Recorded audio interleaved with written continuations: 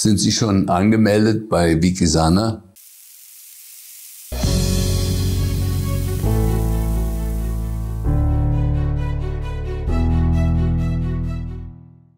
Ich träume von einer Welt. Doch nach welcher Welt sehne ich mich? Was wünsche ich mir eigentlich? Und wie verändere ich die Welt, damit ich mich wohlfühle? Das sind Fragen, die wir heute in dieser Sendung stellen werden. Und ich heiße Sie ganz herzlich willkommen zu der heutigen Sendung im Format Colloquium Spirit. Ich habe hier drei wundervolle Gäste und ich freue mich schon sehr, mit Ihnen heute diskutieren zu können. Aber mehr dazu nach dem Intro.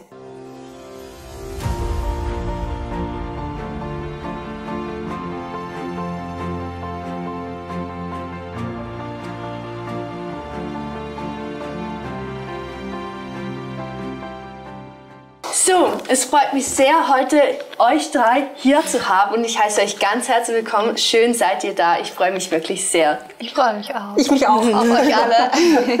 Dann darf ich gerne mal vorstellen, hier zu meiner Linken befindet sich Loten Erdler. Sie ist Yogatherapeutin und Klangtherapeutin bist du und Coach.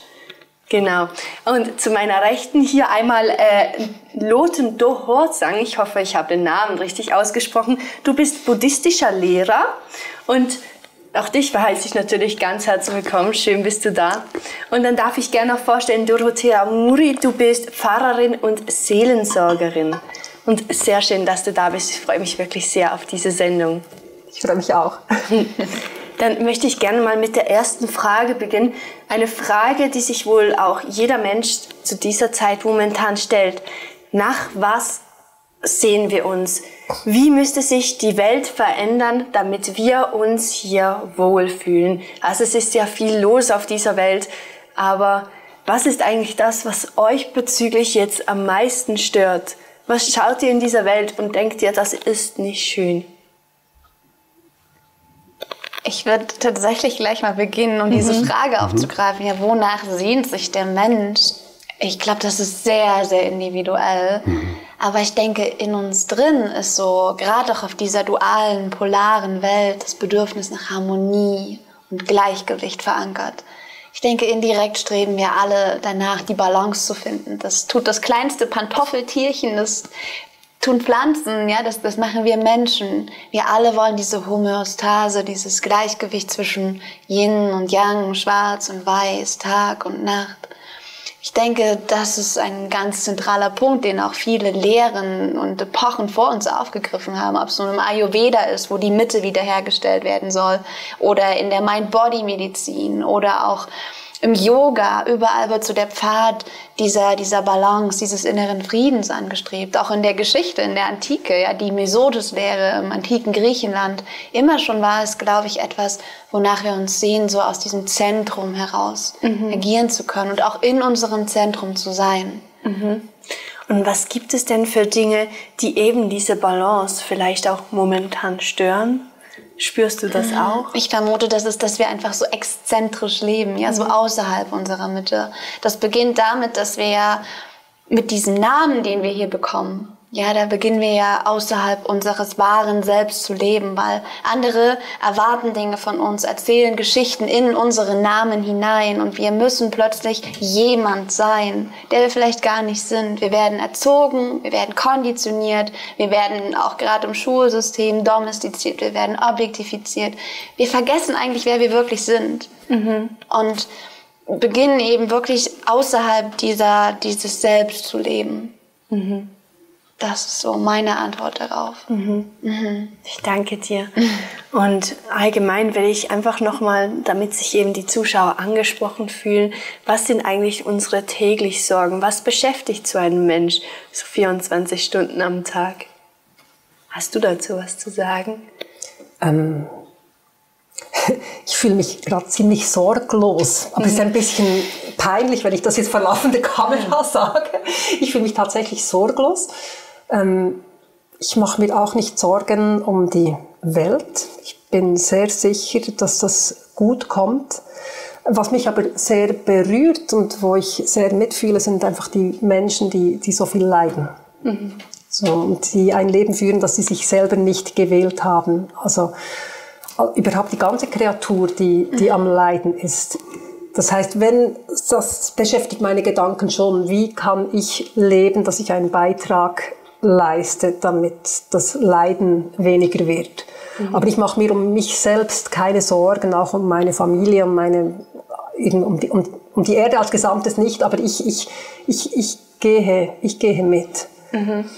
Ähm, und vielleicht noch, wenn ich noch Bezug nehmen möchte auf die Frage, welches Leben wünscht sich denn der Mensch? Oder welches, ich denke, das ist, diese Träume sind so individuell, wie die Menschen auch individuell sind. Mhm. Genau, ich denke, wir sind so frei, dass wir uns Fesseln wünschen können. Und es gibt wirklich auch Menschen, die wählen sich ein Leben, das, das möchte ich nie haben. So, mhm. Weil es entweder sehr anstrengend ist oder sehr schmerzhaft oder äh, wie auch immer.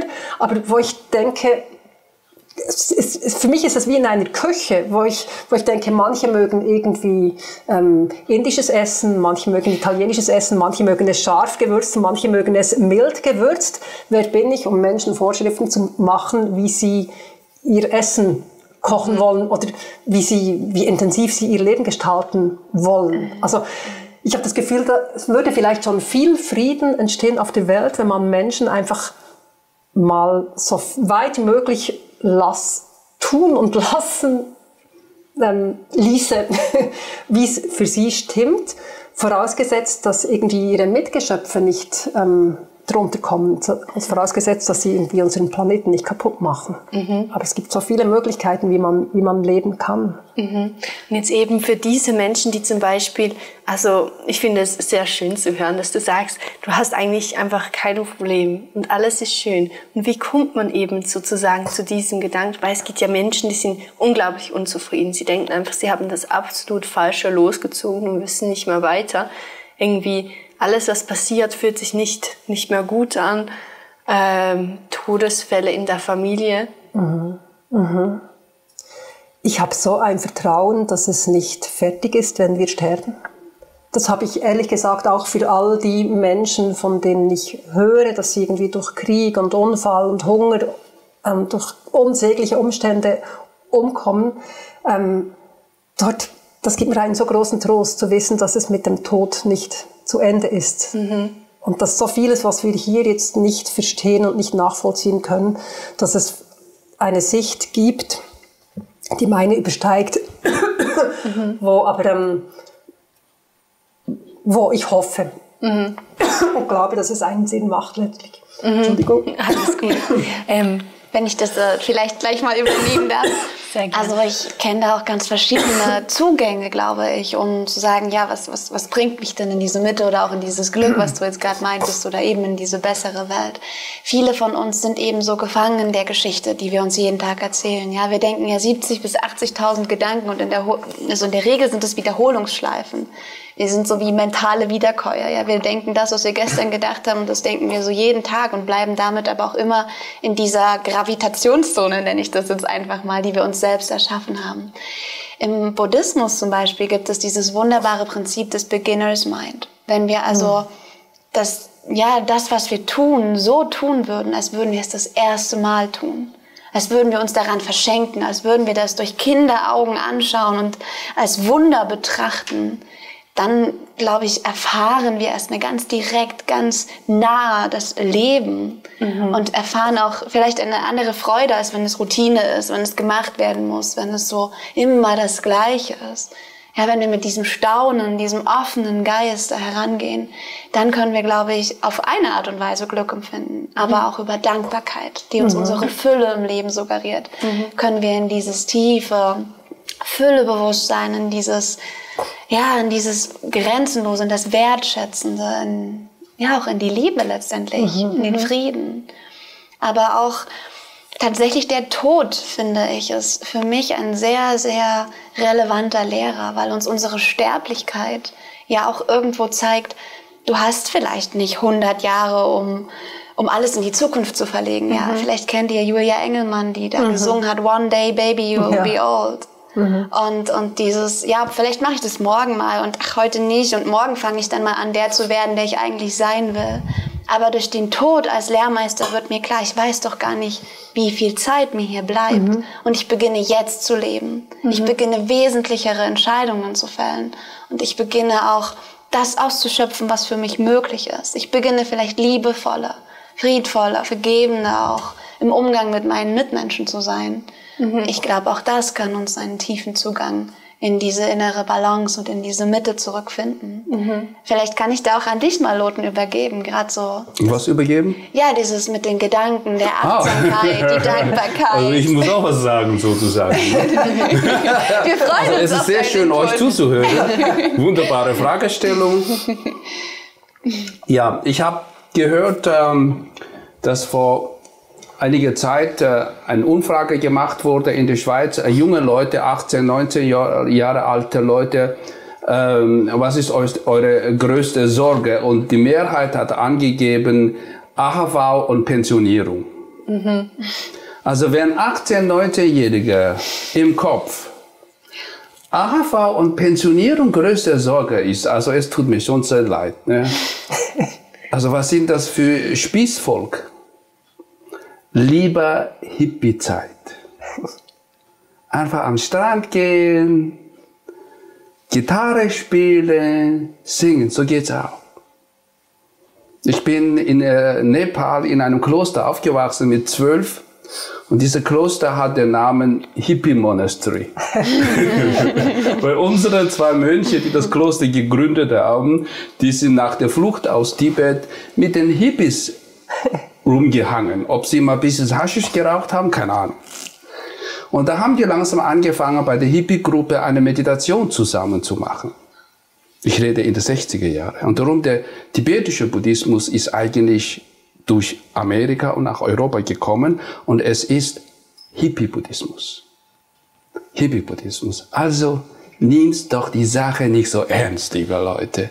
Genieße das Leben und denke nicht nach Pensionierung, Alter. Du kannst gerade dann, dann Sarg bestellen, aus welchem Holz und so weiter. Ne? Jetzt gibt's Leute, die machen das. Ja, die machen das. Ja. Also aus der buddhistischen Sicht, wenn du hier eine heile Welt für sich, Individuum, das ist das innere Happiness, dieser mhm. Glücksein, die wir selber jede kreiert. Und wenn wir die Menschen uns nicht ändern, wenn die genau diesen Politiker, die heute da sind, wenn die sterben und in einen Himmel kommen, dann weiß ich nicht, ob wir dahin wollen. Ne? also Mr. Xi und Herr Putin und Bush und so in demselben Himmel zu sitzen für die Ewigkeit, ich weiß es nicht, ob es lustig ist. Ja? Ich, doch, ich denke, das ist lustig. Genau. doch, also der Himmel, den ich mir vorstelle, da sind alle so erlöst und da ist niemand mehr in dieser Härte und in mhm. dieser mhm. Borniertheit. Da sind mhm. alle, mhm. haben ein weit offenes Herz, fühlen die Verbundenheit und ähm, haben Freude am Dasein. Und dann ist auch ein Xi Jinping und ein Putin lustig, auch ein Hitler. Ich kann mir vorstellen, der Himmel, den ich mir vorstelle, das ist ein mhm. Himmel, wo ich niemanden mehr ausschließen muss, so wo ich Verbundenheit mhm. mit allen fühle und wo ich niemanden mehr verurteilen muss für irgendetwas. Das, das ist für mhm. mich der Himmel. Vielleicht auch zu deiner Frage, wonach strebt der Mensch? Ich denke schon, ganz egal, wie das nun das Individuum wegen deinen Rezepten und deinen Geschmacksrichtungen das zu betonen, ja, egal wie man Glück als Individuum betont, aber ich denke, Glück ist etwas, wonach wir alle streben. Mhm. Mhm. Gibt es ja auch unzählige Bücher, ja, die Glücksforschung oder die Neurobiologie mhm. des Glücks. Allein unser Gehirn ist ja auch darauf programmiert, dass es permanent, ich sag mal, intern in seinem Drogenlabor Hormoncocktails für uns produziert, die uns in dieses Glück bringen sollen, mhm. die uns ja auch antreiben sollen, die uns ja auch motivieren können. Also ich denke schon, wie gesagt, was auch immer Glück ist und mhm. Was es in der Tiefe auch bedeutet. Das ist etwas, wonach wir uns sehen, eine glückliche Welt. Mhm. Oder auch, ähm, wenn ich jetzt so an meine Klienten denke, mit denen ich zusammenarbeite, wonach die sich sehen. Ich glaube, um das so aus allen zu extrahieren, es ist immer diese Gesundheit, es ist der Frieden, die Harmonie, die Verbundenheit. Ja, immer wenn ich in irgendwie, zum Beispiel in der Schattenarbeit, dann frage ich, was, was ist denn das? Wonach sehnt denn sich dein verletztes inneres Kind? Dann ist es die Liebe oder es ist das Glück. Es sind mhm. meistens nie andere Dinge oder die Unbeschwertheit oder mhm. eben der Frieden. Mhm. Ich denke, auch das verbindet uns schon in der Tiefe, dass wir uns nach diesen Dingen sehnen. Ich glaube, möchte ich gerne noch was dazu sagen, gerne. weil ähm, von, von meiner Arbeit her auch als Sterbebegleiterin und mhm. jetzt auch mit, durch die Arbeit als Hypnosetherapeutin, da merke ich, das, wovon die meisten Menschen Angst haben, das ist ähm, die Angst, nicht mehr verbunden zu sein. Mhm. Also auch beim Sterben, man hat ja. weniger Angst vor dem Tod, mhm. als vielmehr Angst, irgendwie die Verbindung zu verlieren. Mhm. Ja, und ähm, ja, ich glaube, dieses Gefühl von Verbundenheit, auch mit sich selbst verbunden sein zu können, sich, sich selbst nicht, nicht ab, abzulehnen, mhm. sondern sich selbst anzunehmen und ja. zu fühlen, dass ich, dass ich so sein darf, wie ich bin, das, ich glaube, dort ist ganz viel Glück drin. Mhm. Das ja. hatten wir ja auch in dem vorherigen Interview, ja. oder? Dass man, ja. dass man schaut, ich, ich bin erst mal in mir glücklich. Ich beginne hier und kann das dann nach draußen bringen. Ja, mhm. ja dieser, dieser Mikrokosmos und dann strahlt sich das aus in das große, weite mhm. Weltgeschehen. Mhm. mhm. Gerne würde ich hier nochmal ähm, die Frage noch in eine andere Richtung leiten. Also mir persönlich geht es gut. Ich fühle mich wohl, ich wohne hier in der Schweiz und wir haben hier ein gutes Leben, aber ähm, auf der Welt herrscht Krieg und Konflikte und die belasten uns. Ähm, auf der Welt gibt es Armut, es gibt mhm. Hunger mhm. Ähm, und es gibt teilweise immer noch keine Gleichberechtigung oder soziale Gerechtigkeit. Mhm. Und wie gehen wir mit diesem Problem hier um? Mhm.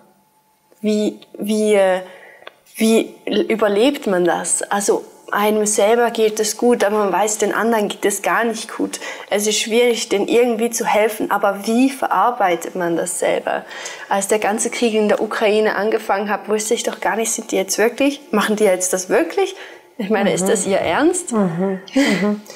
Also mir fällt es total leicht, wenn ich einfach da, wo ich bin, einfach etwas tun kann. Mhm. Also mit uns wohnt jetzt mhm. seit Kriegsbeginn eine junge Frau aus der Ukraine. Ähm, und da bin ich mit drin. Also ich weiß um ihre Familie, ich weiß um ihre Sorgen, aber das ist wie, das ist genau klein genug, dass ich das noch irgendwie verstehen kann und halten kann und helfen kann. Mhm. Ähm, und das hilft mir total, mich nicht so ohnmächtig zu fühlen. Mhm. Meines Erachtens sollten wir den Krieg auch persönlicher nehmen. Wir sehen den da draußen. Der ist da fernab von uns. Uns geht's gut, wie du sagst. Aber ich glaube, wir sollten verstehen, dass in den Menschen selber dieser Krieg herrscht.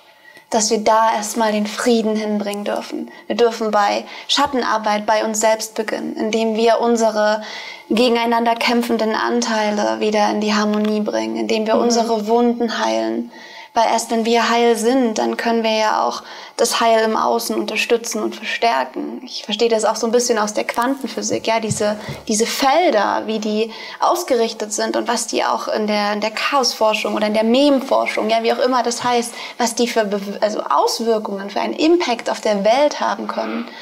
Und da ist mir so klar geworden, ich, ich habe da wohl einen Einfluss. Wie du sagst, Jan, fühlt sich erstmal so ohnmächtig. Mhm. Oh mein Gott, in diesem großen Weltgeschehen, was soll ich kleiner Mensch denn da tun mhm. können? Mhm. Aber es beginnt in meinem Kopf, in meinen Gedanken. Es beginnt bei meinen Worten, bei meinem Gefühl, bei meinen Taten. Und wenn ich in diesen Frieden erst einmal eingekehrt bin, der dann in mir startet, dann ist es doch so viel einfacher, auch mitzugehen, andere an die Hand zu nehmen, wirklich auch aktiv zu tun, sich die Frage zu stellen, ja, wie kann ich hier im Kleinen, wie du das tust, anfangen, dann weiter nach draußen zu gehen und wie kann ich vielleicht auch noch mehr Menschen da mitreißen, wie so eine Welle. Mhm. Also ich glaube, bei uns beginnen ist der erste Schritt, aber dann natürlich auch nach draußen zu gehen zu schauen, was, was sind die Schritte, die ich selber hier, die ich tun kann. Mhm. Bei uns hat es eine so schöne Bewegung gegeben im Quartier. Da kam eine Nachbarin und hat gesagt, hey, können wir nicht ein paar Menschen zusammenrufen, mhm. um Friedenslieder zu singen? Mhm. So.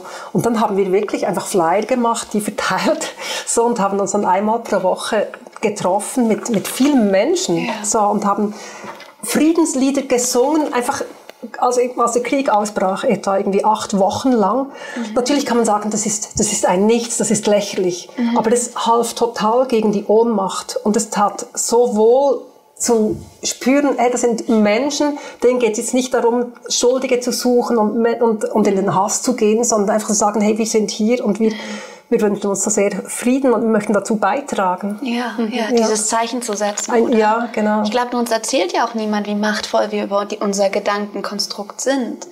Diese Schöpferkraft in uns, die, die erinnern sich ja jetzt immer mehr Menschen, aber uns, uns hat das ja niemand gesagt. Aber wie du sagst, was wir damit bewirken können. Es gibt Versuche, wo Mönche in China es geschafft haben, das wurde über bildgebende Verfahren wirklich nachgewiesen, innerhalb von einer Stunde haben zwei Mönche einen Tumor durch ihre Geisteskonzentration geschrumpft. Oh. Oder wie du sagst, dieses gemeinsame Singen, dieses gemeinsame Beten. Es gibt, es gibt auch Filmaufnahmen, wo Menschen das Wetter beeinflusst haben. Die haben einfach den Sonnentanz gemacht, weil es ihre Kultur so hergibt, haben die Sonne angebeten und den Regen eben ja, darum gebeten, dass er nun abzieht und es ist eingetroffen. Ich hatte das neulich erst am Wochenende, wenn ich das erzählen darf. Wir waren hier mit äh, den Wiechels Kindern aus der Swiss Mountain Klinik unterwegs und da sagte Friederike so zu ihrem kleinen Sohn, Mensch, weißt du, es regnet heute, aber du bist so mächtig mit deinen Gedanken. Versuch doch mal, die Sonne herzubeten. Und der Kleine hat wirklich ganz fest dran geglaubt, dass jetzt die Sonne rauskam und sie kam. Ganz egal, wie das zusammenhängt, aber ich glaube, wir haben wirklich eine wahnsinnige Mentalkraft, die wir nutzen können. Deswegen finde ich das so schön zu sagen, ja, wir beten für den Frieden, wir singen für den Frieden. Und umso mehr Menschen dieses Feld stärken, desto größer wird das. Mhm. Nur dass wir ja leider durch die Medien, die uns immer diese Angst schüren, ja permanent das Feld mit unserer Mentalkraft stärken, was wir eigentlich nicht wollen. Oder? Wir, wir sehen Angst, wir sehen diese zerstörerischen Bilder, wir sehen schwarz wortwörtlich. Und logischerweise, umso mehr Menschen diese Bilder sehen, desto mehr wird dieses Quantenfeld gestärkt. Und es wird zu unserer Realität. Gedanken werden Dinge. Dein Geist erschafft Realität, erzeugt das, was, was, ja, ist wie so ein Produkt, ja, was dabei rauskommt. Also vielleicht beginnt es auch in unseren Gedanken. Dass wir eigentlich das, was wir erreichen wollen, auch fühlen. Man Das wünscht kommt es dazu. sich. Na klar. Natürlich, ja. Ja. Und eigentlich sozusagen das, was wir fühlen, das, was wir denken, das ist ja nicht einfach nur privat, sondern geht auch nach außen. Absolut. Das finde ich sehr schön. Loten, willst du dazu auch noch was sagen? Ja, ich kann euch eine kleine Geschichte erzählen. Ja. Gern. Hinter den sieben Bergen, bei den sieben Zwergen. Nein, also es gibt eine Zen-Geschichte in einem, äh, in einem Gegend in Japan, war ein, ein buddhistisches Kloster und dort äh, war ein Meister und zu ihm kam ein Samurai, ein japanischer Ritter, kam zum Meister und sagt, Meister, sage mir, gibt es einen Himmel, gibt es eine Hölle? Und der Meister schaute ihn an und sagt, das weißt du nicht, das weiß in Japan jedes Kind. Und er fühlt sich in seine Ritterstolz verletzt. Und er zog aus der Scheide sein Schwert und wollte den Meister köpfen. Und der Meister sagt, schau da öffnet sich das Tor der Hölle. Er begriff es und steckte sein Schwert in die Scheide zurück. Und der Meister sagt, schau da öffnet sich das Tor des Himmels. Himmel und Hölle ist die Kreation unserer Gedanken. Man sagt in den Vereinigten Nationen, in den wichtigsten Schriften, Kriege beginnen im Gedanken. Wenn der Krieg in Gedanken beginnt, können wir auch ersten der Ansatz, Krieg zu beenden, ist in Gedanken. Leider gibt es in heutzutage zu viele Hassprediger. Hm? Diese Leute treiben mehr und mehr Menschen Meinungen in die Demokratie zu dem Hass und Hass führt.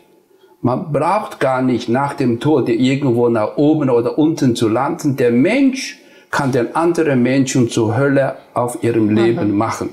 Da sind wir Menschen fähig. Also darum, die, die du so schön schilderst, Frieden, äh, Glück fängt hier in meinem Gedanken, die ich dann ausstrahle. Das ist das auch die wesentliche Botschaft seiner Heiligkeit Dalai Lama und Buddha. Dass der Menschen und seine Heiligkeit hat keinen Satz etwas Negatives über das chinesische Volk gesagt. Er hat die Politik immer wieder kritisiert.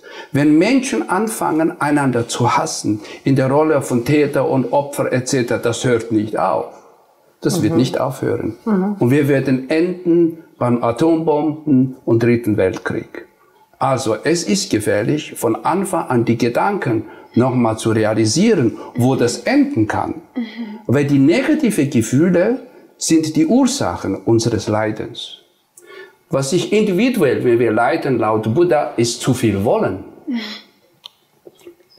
Indira Gandhi, nein, der, der Gandhi hat gesagt, das Wollen, die Gier eines Menschen, er hat analysiert, was die Briten über 200 Jahre alles Indien weggenommen hat und sagt, die Gier eines einzelnen Menschen ist so groß, dass das Gesamtreichtum von Indien nicht ausreicht. So gierig sind wir Menschen. Ein einziger Mensch, die Gier ist grenzenlos. Also wenn wir hoffen, wenn wir etwas wollen, erfüllt wird, werden wir nie glücklich, weil wir das, diese Durst im großen Meister vergleichen. Wenn du Durst, Durst leidest, wenn du je mehr Meereswasser trinkst, desto mehr Durst bekommst du. Mhm. Also der Buddha sagt, wenn du möchtest du glücklich sein, dann wie du gesagt hast, weniger wollen.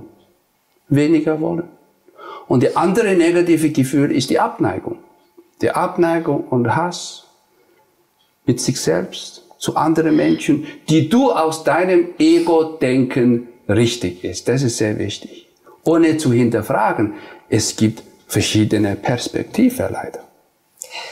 Wobei, wenn du in dem drin bist, das ist ja ganz schwierig, dort selber wieder rauszukommen. Mhm. Und ich denke, viele Menschen ähm, leiden jetzt nicht besonders ähm, jetzt nur an Gier oder an Hass, sondern ganz viele sind einfach zutiefst verunsichert oder haben Angst oder fühlen sich eben nicht verbunden. Mhm. Und dort denke ich auch, reicht das Denken alleine nicht. Das Denken heilt nicht und das Denken versöhnt auch nicht und bringt auch nicht die Vergebung. Also ich kann schon denken, ich vergebe dir, aber wenn dann immer noch ja, dieser Groll da ja. ist oder wenn dieses, man, man, ganz mhm. viele Dinge, die hat man ja wirklich körperlich und die, die verfolgen einen bis in die Träume. Mhm. Und da habe ich jetzt eben das ähm, Werkzeug der Hypnose mhm. gelernt. Und Schön. das, fast, wow. das, es, es, es entzückt das mich. Ist unglaublich. ja, das ja. ist wirklich ja. unglaublich. Ja. Weil dort ist so viel Heilung möglich. Mhm. Man kann Menschen in Momente zurückführen, wo sie sich erinnern, dass die irgendwie traumatisch waren. Wow. Und mit Hilfe der Hypnose kannst du die Situation einfrieren. Mhm. Und das ist dann möglich. Also, wenn, ich mit meinem bewussten Verstand noch da bin, denke ich ja, nein, ich kann diesen Täter nicht jetzt irgendwie stocksteif stehen lassen. Der hat sich ja bewegt, der hat mir ja das und das angetan. Aber in der Hypnose ist es möglich, dass, dass der Mensch, der mir was angetan hat, einfach eingefroren ist, weil ich ihn mit einer Fernbedienung jetzt einfach mal stillstehen lasse. Und dann habe ich die Möglichkeit, mir Ressourcen zu suchen. Entweder mich selbst aus einem Moment, wo ich kraftvoll schon war oder wo ich vielleicht mal kraftvoll sein werde oder vielleicht auch die Ressource eines Engels oder, oder von Gott oder was auch immer. Ähm, schon das macht dann sehr viel aus, mir die Ressourcen in den, in den Moment hinein vorzustellen. Und das löst etwas aus, das dann nicht einfach im Kopf ist, sondern das, das gibt ein Gefühl. Und was ist das für mich das Wichtigste ist in der Hypnose, ist dann, dass ich mir den Täter vorstelle als kleines Kind, das schutzbedürftig ist. Mhm. Oder die Täterin. So. Also wenn ich dann irgendwie eine Zeitreise mache in die Vergangenheit dieses bösen Menschen, wo er ähm, Kind war und selber gelitten hat, und wenn ich dann als erwachsener Mensch dorthin gehe und dieses leidende Kind sehe, dann mache ich einen Shift vom Opfer zum Helfer. Mhm. Und da ist so viel Liebe möglich. Mhm. Da ist so viel Liebe und Annahme möglich. Und wenn ich dann dieses Kind, dieses verletzte Kind irgendwie mitnehme, in die Situation nehme, wo der Täter gefroren ist, den auftaue und dass eine Begegnung gibt zwischen dem Täter und seinem eigenen Kind. Mhm da ist so viel Heilung möglich. Mhm. Und zwar rein durch meine, durch meine Vorstellungskraft. Aber dadurch, dass ich diese Vorstellungskraft aktiviere und auch in die Emotionen gehe, die dann in dem Moment stattfinden, stattfinden bin ich, ich bin dann frei. Ich komme ich komm wieder raus und es ist, es ist einfach Frieden es ist wirklich, Wahnsinn. es ist getan. Ja, Wahnsinn. Ja, ja. es, es ist großartig. Mhm. Ja. Mhm. ja. Mhm. Das ist auch mit den Emotionen, was du meintest, oder? Ich glaube, der Kampf ja. ist ja auch schon in uns drin, weil wir gegen unsere Gefühle kämpfen. Weil wir ja uns diese Geschichte erzählen, was Ja. ich erst meinte. Ja, wir müssen immer perfekt sein, immer gut drauf sein, immer lachen, Ja. immer funktionieren. Aber unsere Wut ist genauso schön wie unsere Traurigkeit, wie unsere Empörung. Ja, nur dass wir eben kollektiv so in diesem Traum, einer von euch hat es erst gesagt, ne, drin sind, dass wir das nicht zeigen dürfen. Nur wenn wir die Gefühle wieder fließen lassen Ja. können, Ja. Das ist das, dieser was ein menschlich, men Mensch menschlich macht. ja, das verbindet uns doch alle. Und es geht ja auch nicht darum, dass ich meine Wut an dir auslebe, sondern dass ich meine Wut vielleicht in einem Raum für mich sogar konstruktiv nutzen kann. Und einfach erkenne, die Wut, die hat ja genauso viel, ich sag mal, Energie vom Betrag her, wie vielleicht die Freude. Ja, wie kann ich die denn einsetzen? Und wie gesagt, es muss ja nicht aneinander ausgelebt werden, sondern wir können es ja in uns heilen. Wir können unsere Wut nach Hause holen. Weil dann kann ich auch, wenn ein anderer Mensch wütend ist, ein viel, viel besser Mitgefühl erreichen. Ich habe, als ich die Traumatherapieausbildung gemacht habe, da haben wir so Filme geguckt von traumatisierten Menschen. Und bei mir passierte dann das, was mir bis dahin oft passierte, ich dissoziierte. Einfach, wenn ich etwas sehe, was mir zu viel ist, dann bin ich abgezischt. So. Das heißt, ich war dann gar nicht mehr da, ich habe dann gar nichts mehr gefühlt, ich war einfach weg. Und da kam mein Lehrer, hat mich angefasst und hat gesagt, ey, komm zurück, drück deine Füße fest auf den Boden, spür den Boden unter deinen Füßen und atme. Und sag mir, was passiert. Und dann kam eine Energie. Es war so eine Energie. Und ich sagte, ich krieg eine Wut und ich würde jetzt am liebsten einfach Stühle und Tische zum, Gefenster, zum geschlossenen Fenster einfach rausschmettern. Ich bin so wütend über diese Scheißwelt und wie das hier läuft. Ich hab so eine Wut. Und er hat gesagt, okay, wenn du abzischst, weil du es nicht aushältst, änderst du überhaupt nichts. Aber bleib mit dieser Wut und geh mit dieser Wut. Und wenn du in Verbundenheit bist mit dieser Wut, dann kannst du was ändern. Und wenn du einfach abzischst, weil es dir zu, weil es dir zu viel ist, änderst du gar nichts. Seither bin ich eine Freundin der Wut geworden. Ja. Ja, ja, ja. Schön, schön. Wirklich schön. Du bekämpfst sie dann quasi nicht mehr oder unterdrückst sie auch nicht mehr, sondern du sagst, hey, komm rein, welche Botschaft hast du für mich? Ja, und das ist es ja, oder? Jedes Gefühl hat eine Botschaft für uns. Ja, und die gibt so, Wut gibt so viel Kraft, gibt auch mal die genau. Energie, also gibt den, den Mut, auch hinzustehen und zu sagen, stopp.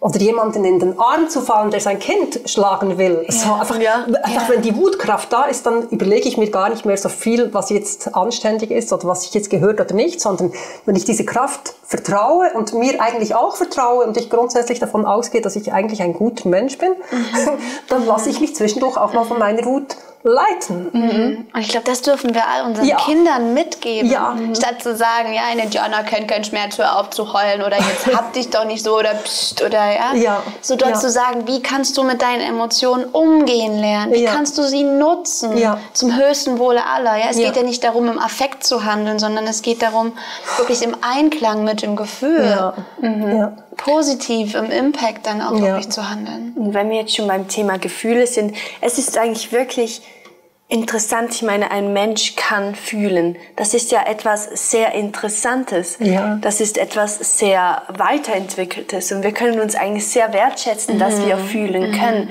Und auch so etwas wie zum Beispiel Liebe empfinden können. Und eben all die anderen Emotionen. Und dann ist es eigentlich nur eine Frage, wie wir eben diese kontrollieren. Denn sie zu unterdrücken ist wohl klar die falsche Lösung. Dass man sogar, du hast ja eh erzählt, wie ein altes Trauma sozusagen nochmal verarbeiten kann, dass wir dann sozusagen im Einklang mit uns werden.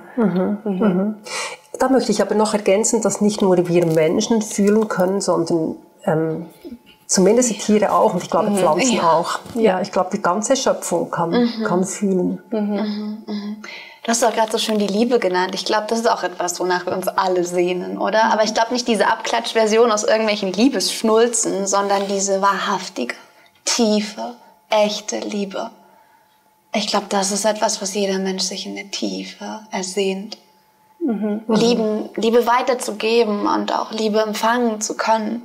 Diesen Fluss der Liebe einfach gewährleisten zu können. Nur wir sind, ja, entweder wir laufen mit unserem Einkaufskorb durch die Welt und sagen, gib mir, gib mir, gib mir Liebe, ja, sieh mich doch endlich mal, hör mich doch endlich mal, oder aber wir erschöpfen uns indem wir ständig nur geben, geben, geben, geben, geben, aber vielleicht auch aus dem Aspekt Anerkennung zu bekommen, mhm. ja, so als latente, subtile Strategie.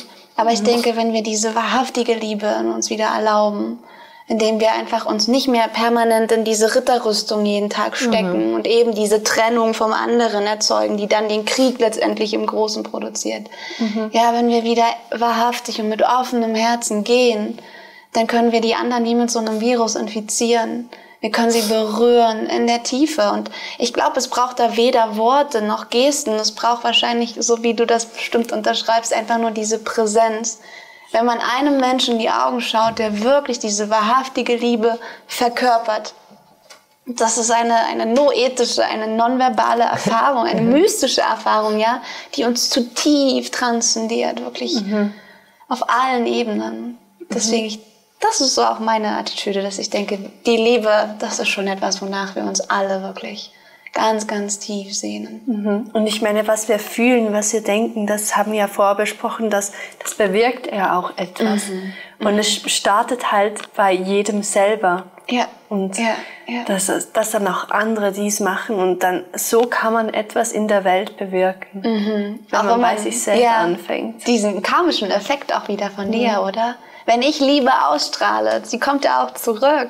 Mhm. Ja, oder auch die hermetischen Prinzipien unterschreiben das ja, dass dieses Gesetz der Entsprechung, das, was ich ausstrahle, das empfange ich. Mhm. Ich erkläre das mal sehr gerne an den Radiosendern. Ja? Die Frequenz, die ich einstelle, werde ich empfangen. Und wenn ich eben Klassikradio eingestellt habe, dann darf ich mich nicht beschweren, dass ich Klassikradio empfange, obwohl ich doch eigentlich Popmusik hören will. genau. Ja, also die Frequenz, auf der ja. ich bin. Und ja. Liebe ist nun mal die höchste Frequenz neben Freude und Dankbarkeit und Glückseligkeit.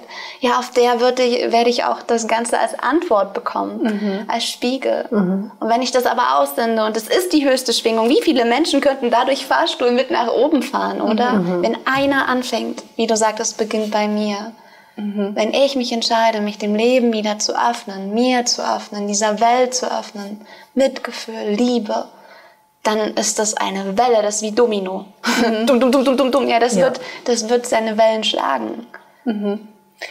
Also so in die Richtung sozusagen, liebe deinen Nächsten, mhm. richtig? Mhm. Aber wie macht man das? Ich meine, vielleicht äh, begegnet man immer wieder Leuten so, ja, ähm, die kann ich jetzt nicht besonders gut ausstellen oder der will mir vielleicht auch nur Böses. Wie kann man trotzdem irgendwie das Gefühl weitertragen?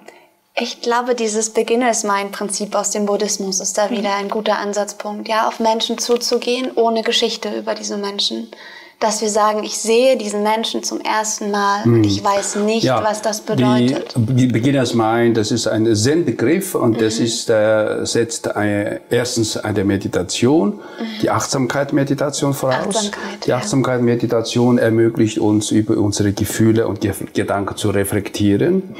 Äh, dann äh, setzt hier sogenannte Mind Training, in Buddhismus Mind Training. Und der Mind Training, äh, die Hauptthema ist die vier Arten der Liebe zu kultivieren. Und die erste Art der Liebe ist Gleichmut. Also ich äh, liebe alle Menschen ohne Unterschied äh, zwischen Freund und Feind.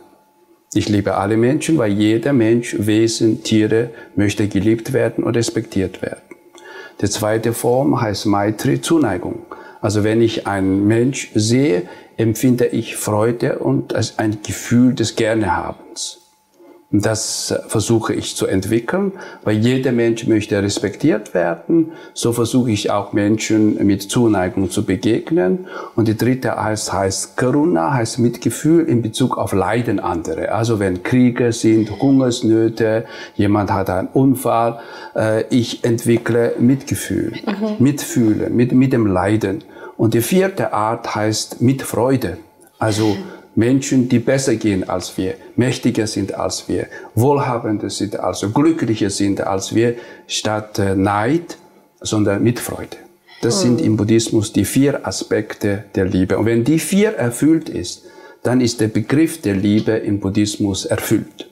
Sonst nicht. Mhm. Genau. Aber wie machst du das? Also weißt du? Das ist lebenslange lebenslanger Weg. Ja. ja. ja, das ist nicht ja. einfach. Das ist lebenslanger Weg. Ja. Und das ist, äh, wie soll ich sagen, ähm, morgen früh wir fangen mit einem Gebet an, die genau mhm. diese vier Aspekte äh, beinhaltet mhm. und versucht man genau durch Achtsamkeit das zu behalten, quasi so im, im Hinterkopf. Mhm. Aber die Sache ist, das wirkt. Wenn ich mit diesen vier Qualitäten versuche, meinen Tag zu gestalten, das wirkt unter Familienmitglied, das wirkt bei Nachbarn, das wirkt auch bei den Arbeitgebern. Also das ist sehr hilfreich, wenn man, das muss man natürlich ein bisschen wie Yoga mhm. oder Abnehmen oder Mindtraining so wie beim Fitness geht, man muss dieses Bewegung immer wieder wiederholen. Genau. Mhm. Ich meine, klingt tut das ja sehr gut, aber Echt so als Beispiel im Alltag, ich bin am Bahnhof und mir wird die Brieftasche geklaut. Ich sehe noch, wie er davon rennt und mir die Zunge rausstreckt. Also das lässt sich ja auch aus der Haut fahren. Wie kann ich dann die Person lieben, die geht mir ja, wenn ich das so sagen, nach den Jahren. Also wenn jemand deine dein Brieftasche klaut, ne? Mhm. Ich würde nachrennen, versuchen ja. das wieder den Kerl zu fangen und nicht Om sagen und warten. Ja. Ja. Ich würde laut schreien, dass die andere den Typ fängt. Mhm. Und wenn der doch weggelaufen ist, dann würde ich buddhistisch meinen, ja, der macht das wahrscheinlich nicht aus Hobby oder aus äh, Freude, anderen Brieftaschen zu klauen. Dann sende ich dem buddhistisch einen guten Wunsch hinterher, möge er mit meinem Geld glücklich sein. Mhm, Und damit schließe ich das Kapitel ab. Also ich wow. mache nicht morgen meditieren darüber, mein Brieftasche ist geklaut worden, ich erzähle meiner Mutter, meinen Partner und so. Nach zwei Monaten erzähle ich das, weil dieses Gefühl ist negativ und das ist, das ist diese mentale Gesundheit.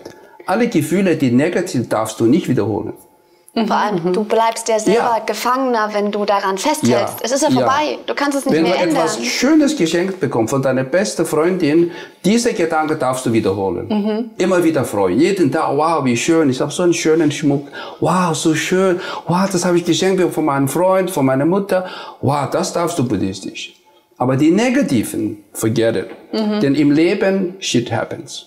das ist schön also, nimm's nicht so ernst. Ja. Nimm's so, so versuche aus der Situation, das ist buddhistischer Mindtraining, das Beste zu machen. Also es wäre naiv, nicht dem Typ nachzurennen oder zu schreien, halte ihn. Ist auch ja. selbst Wenn er schon weggerannt ist, können wir nicht zurückgewinnen. Ja? ja? Also mit der Polizei gehen und so, also das wird eine lange Geschichte. Wahrscheinlich werden die gar nicht finden, außer mhm. dass du Zeit verlierst, zwei Stunden irgendwelche Formulare ausfüllen. Mhm. Also wir Menschen sind auch fähig, wenn es einem schlecht geht, auch etwas zu geben, zu spenden. Also wenn ich das als Spende betrachte für sein Glück als Mensch, dann ist mir von Buddhismus die Sache los. Mhm. Das ist unser Ansatz. Das heißt nicht, dass es richtig ist. Ja, die Buddhisten, auch Buddha selbst, nie, das ist richtig. Das ist sehr wichtig.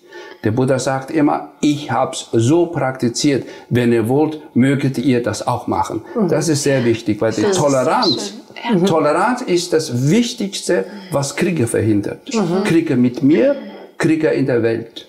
Wenn jemand meint, ich habe die Wahrheit für mich gepachtet, ja, ich habe genau, das ist meine Glauben und das ist richtig, dann wird es gefährlich, mhm. weil es wird immer wieder garantiert jemand anderer kommen, der das Gegenteil behauptet. Mhm.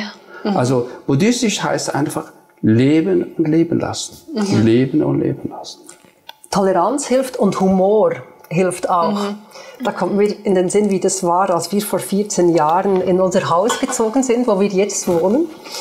Da war der frühere Hausbesitzer, der hatte hier ein Haus und dann waren drei Häuser, da war ein Reihenhaus mit drei aneinander gebauten Häusern und dazwischen war ein Golfrasen. Mhm. So, und dieser Nachbar, dem früher alles gehörte, der hat die verschiedenen Hausteile gekauft, aber der ganze Golfrasen, der war noch, da gehörte schon ein Teil davon zu uns, aber er war nicht abgeteilt.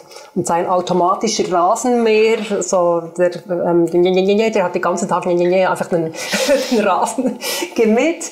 Ähm, so, er mochte uns nicht, weil wir Hund und Katze mit dabei hatten. Das mhm. hat er nicht berücksichtigt beim Hausverkauf. Und da habe ich eines Tages, wo ich ziemlich frisch dort wohnte, habe ich meine Unterwäsche auf dem Rasen dort aufgestellt, wo ich wusste, das ist noch unser Rasenstück und die Sonne hat genau dorthin geschienen. So habe ich den Wäscheständer aufgehängt, Unterhosen ran, BH ran, alles dort aufgehängt. Habe nicht bedacht, dass der Nachbar ähm, von seiner Stube aus direkt dann auf meine Unterwäsche sieht und dass ihm das vielleicht nicht gefallen könnte. es hat ihm nicht gefallen, weil am Abend war dann der Stevi auf den Kopf gedreht. So, das heißt, das war, die ganze Wäsche lag auf dem Boden und die Füße waren so mhm. oben. So, und es war klar, dass es nicht die Nachbarn rechts und links gewesen waren. Mit denen habe ich gesprochen und die haben gesagt, nein, der nervt sich furchtbar, wenn du deinen Wäscheständer da hier aufhängst. Mhm. Ähm, das, das, geht, das ist ein No-Go.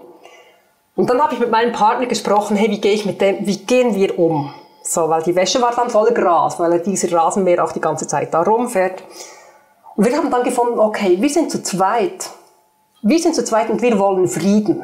Und wir wollen hier leben und wir wollen hier gut leben und wir wollen keinen Streit haben. Mhm. So, das heißt, wir müssen irgendeine Lösung finden, wo, wo dieser Nachbar nicht in die Ecke gedrängt wird, sich nicht rechtfertigen muss, aber auch, dass unsere Wäsche nicht dauernd umgedreht Und wir haben dann die Lösung gefunden, bei der nächsten Wäsche habe ich die Wäsche wieder am selben Ort hingestellt und dann habe ich so Bambusstangen geholt und ich habe so wie das kleine gallische Dörr, also wie, ein, wie, das, wie das römische Lager. Bei Asterix und Obelix. Bei Asterix und Obelix hatten wir auch schon mal, genau. habe ich einfach Bambusstangen, etwa acht Bambusstangen rund um diesen Wäscheständer einfach reingerammt. Das war, war dann wie geschützt. Und dann kam die Frau vom Nachbarn und hat gesagt, warum tust du das? Und ich habe dann gesagt, das, nächste, das letzte Mal, als ich Wäsche gewaschen hatte, da lag am Abend der Wäscheständer zu 180 Grad gedreht auf dem Rasen. Die ganze mhm. Wäsche war, war voll Gras. Ich denke, das muss ein Rasenmäher gewesen sein. Und ich möchte nicht mehr, dass dieser automatische Rasenmäher wieder in meine Wäsche reinstopft mhm. und meinen Wäscheständer um 180 Grad dreht.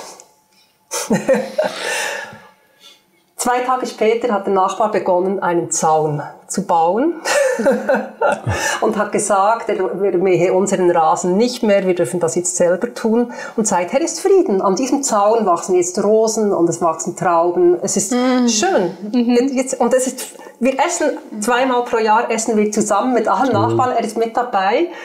Wir haben nie mehr darüber gesprochen. Ja. Mhm. Mhm. Und das ist so. Sehr schöne Geschichte. Ja, es ist so kraftvoll, wenn man Frieden will. So, man ja. muss nicht kriegen. Mhm. Ja, ja, ja. Weil du erst auch fragtest, was tue ich, wenn, wenn mir jemand gegenübersteht, wo du meintest, der vielleicht will er mir was Schlechtes. Ich frage mich immer, ist das wirklich wahr, was ich denke? Ja, weil mhm. ich antizipiere ja in dem Moment, dass er mir was Schlechtes will, ohne dass das ja so sein muss. Mhm. Ja, ich bin ja eigentlich dann so gefangen in meinem Kopf und in dem, was ich mir erzeugt habe. Oder auch wenn ich so merke, ich komme mit einer Person nicht wirklich klar, ja, was du ja auch angesprochen hattest, ist immer die Frage, was spiegelt mir diese Person gerade, was in mir vielleicht noch in die Heilung will. Das meinte ich auch vorhin mit Schattenarbeit. Ja, wirklich zu schauen, wenn die Person vielleicht besonders wütend ist oder schnell aus der Haut fährt.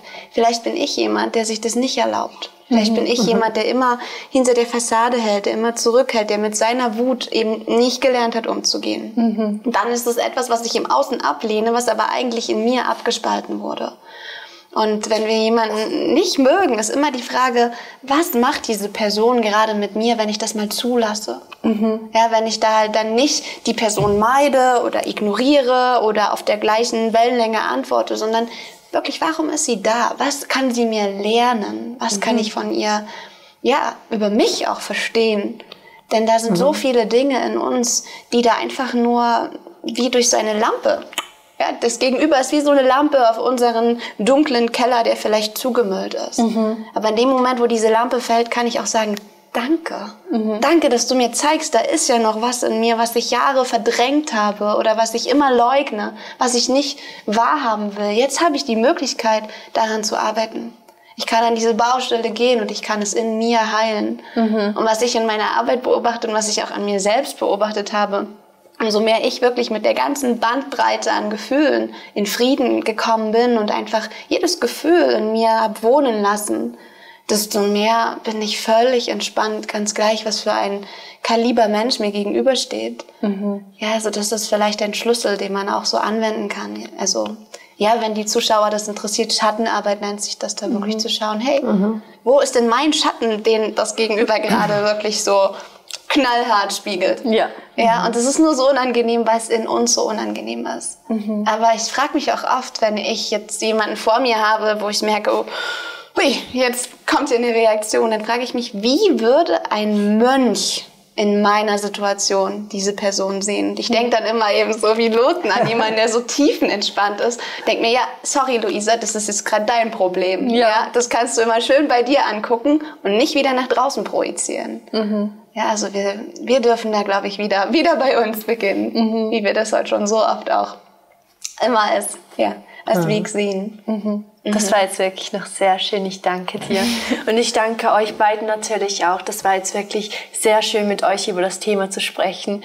Und es hat mir wirklich sehr Freude gemacht. Und ich habe auch viel mitnehmen können. Ich glaube, vielleicht kann man das auch den Zuschauern so mitgeben. Ne? Welche Welt erträumst du dir als Zuschauer? Und was kannst du dazu beitragen? Wie kann diese Welt erstmal in dir entstehen und wie kannst du das dann nach draußen bringen? Wenn es wirklich bei uns beginnt. Aber ich glaube, von dem Punkt kommen wir gerade Ja. alle. Ja. Ja. Also ich konnte wirklich sehr viel mitnehmen, liebe Zuschauerinnen und Zuschauer. Ich hoffe, ihr habt auch so fleißig gelauscht wie ich und konntet auch so viel mitnehmen wie ich. Ich fand es wirklich unglaublich spannend und äh, ja, also mir hat es sehr gefallen. Ich hoffe, Ihnen hat es auch gefallen. Und ja, bis zum nächsten Mal. Ade miteinander.